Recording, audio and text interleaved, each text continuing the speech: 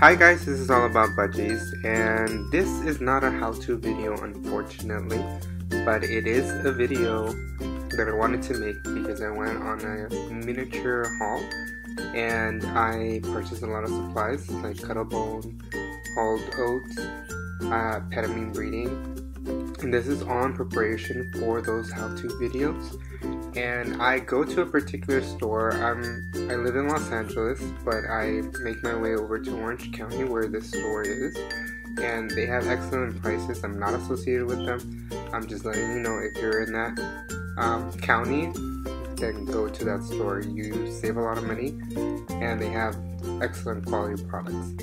And while I was there, I picked up something that I was not going to pick up or that I did not have in mind to purchase. So guess what else I picked up? You guessed it. Basically, this when I first saw it, they only had one English budgie. But what she is is based uh, double factor um, white English budgie. At first, I thought it was a albino, and even the the guy that was handling the bird said it was an albino, but she doesn't have red eyes, so she's a double factor spangle which gives her the appearance of being completely white. And she's not in breeding condition. I'm quarantining her, quarantining her right now.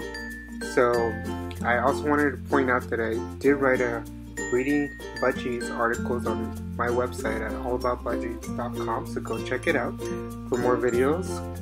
Subscribe and follow us in our social media at All About Budgies and like us on Facebook Thanks for watching.